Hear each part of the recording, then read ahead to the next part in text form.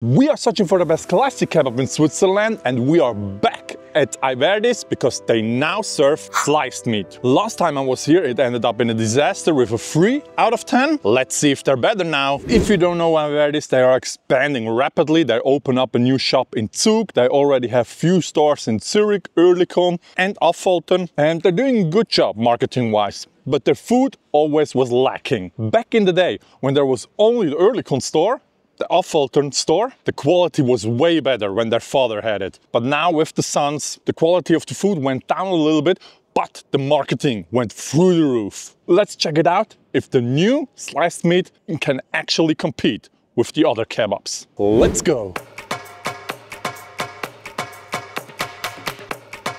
Here is the whole kebab, bread test, sliced meat test, and now the whole thing. Mm. Oh.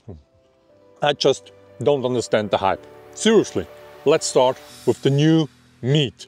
Sliced meat. Wow, Ayverdis jumped on the ship. But honestly, what is this? Do you see how tiny this piece is?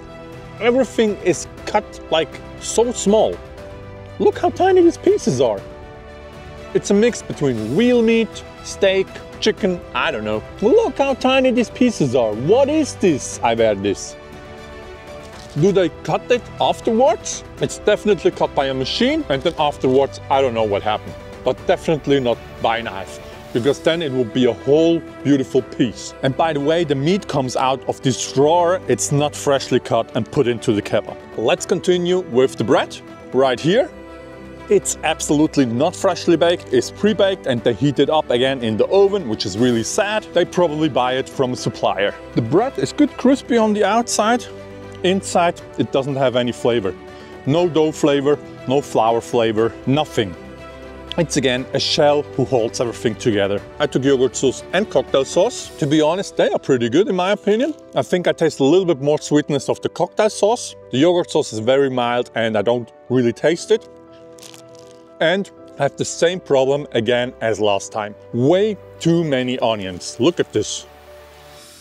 Do you see that?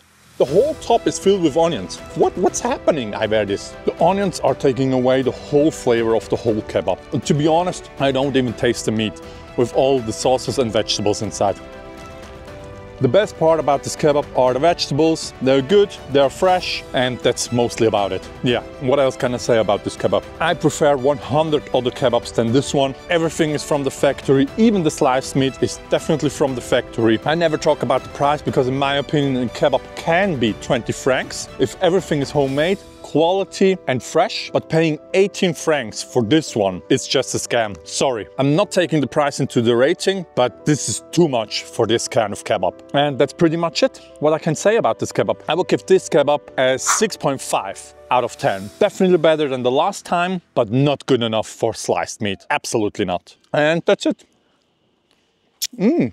Actually, the last bite had some fat in it and actually some flavor. Before that, every flavor was overtaken by the sauce of the meat. That was the first time I actually tasted meat in this kebab. Some side note about Ayverdis. Back in the day, around five years ago, I really thought Ayverdis is one of the best in Switzerland. But damn, they lost its flavor, they lost its spark. They can't compete anymore with the other kebabs. Everything is standardized, everything is from the factory, just not good enough anymore. Don't get me wrong, a 6 is still better, than a 5, which is a standard kebab.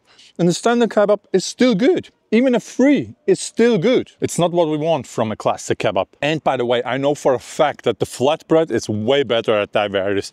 They toast it really good, but since I always take sandwich bread, I need to have a fair comparison between the other kebabs. Here is the classic kebab top 10 ranking list. Don't forget to check out this video and let me know all your favorite kebabs in the comments.